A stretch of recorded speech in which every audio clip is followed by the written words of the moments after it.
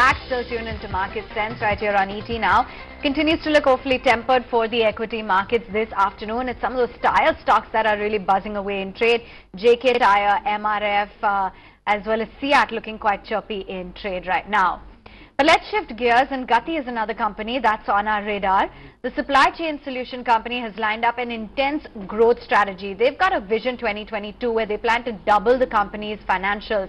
Let's talk a little bit more about their vision with Deputy MD, ba uh, Mr. MD Bala, who is with us on the show.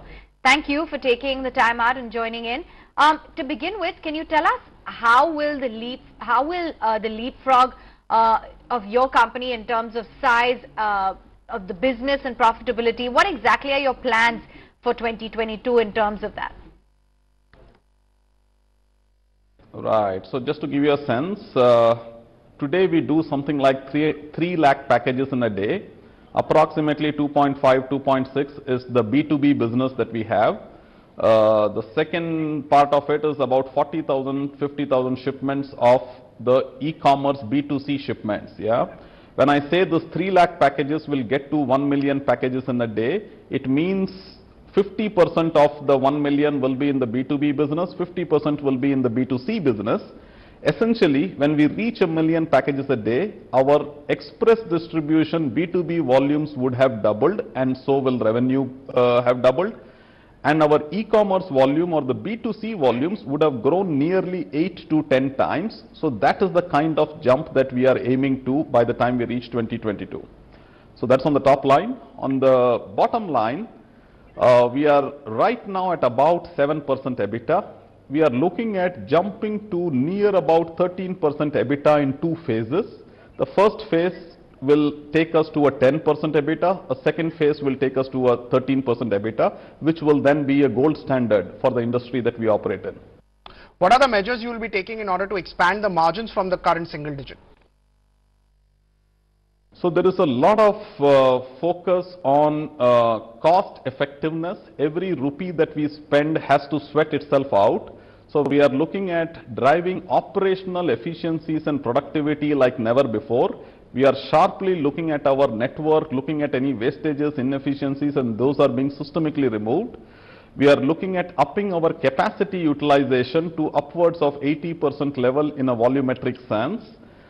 Uh, these are the kinds of measures which are happening on the uh, operating network and, and uh, productivity. Similarly, we are also looking at our fixed expenses, whether it is the people expenses, the overheads and everything else. We are very, very uh, sharply focused on making each rupee that we spend uh, sweat it out uh, in an impactful manner. And finally, tell us how have the changes in rates on account of GST impacted your sector and particularly your company? GST, of course, is a major plus for the logistics industry. Many people uh, have spoken around it, both in industry and government. Uh, for Gati specifically, uh, it brings a lot of organized uh, play in the uh, logistics sector. Uh, it of course reduces transit time, but the more important benefit that we see in GST, because the market now gets integrated, the customer preference for large organized national players has increased like never before.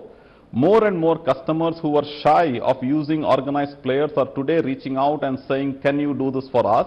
So I think GST has really opened up a much larger customer base for organized players like Gati. Also, there are efficiency linked to GST.